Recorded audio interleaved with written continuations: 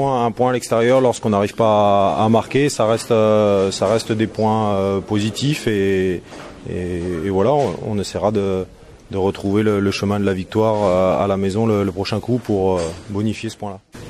On a, c'est pas qu'on n'a pas essayé de pas prendre de risques. Je pense que en termes d'occasion, on en a, on en a plus que Clermont. je vous dis, dans, le premier quart d'heure, on a, on a beaucoup de, situations, de tirs. Il y a deux corners qui passent deux fois devant le but.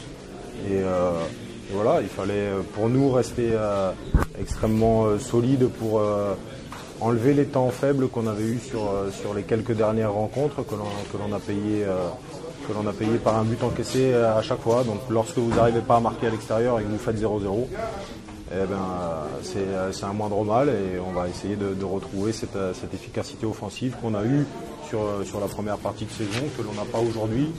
Mais mais voilà, ça reste euh, un match euh, solide et, sérieux. Est-ce que ce nul vous contente plus que celui concédé contre Nîmes euh, Bien sûr, bien sûr.